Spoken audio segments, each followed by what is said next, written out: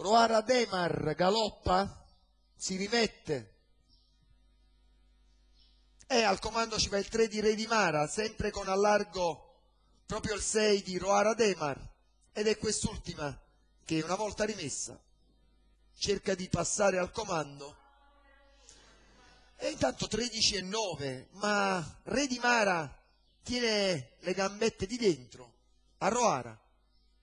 Ma Roara insiste e con tanta tanta spesa passa. Interviene subito l'impianto 29 scarsi per i 400 e rimpianto ora.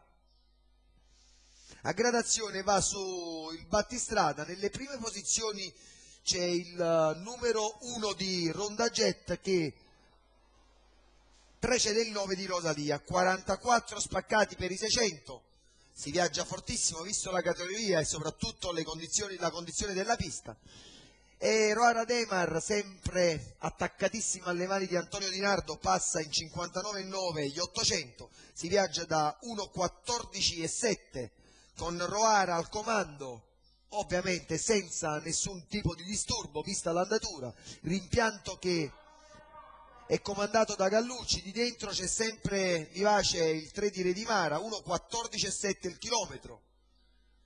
E rimpianto ora cerca di cavalcare il Redimara, trova anche un posto in corda l'allievo di Gallucci, viene via il 10 di eh, River B-Power 1,30 per i tre quarti di miglio, sempre da 1,15 con Roara, rimpianto nelle prime due posizioni e sembrano non progredire granché gli altri, tranne il 13 di Rivale d'Amore. Sembra un po' ferma Roara Demar e in retta d'arrivo Rivale d'Amore, Rivale d'Amore!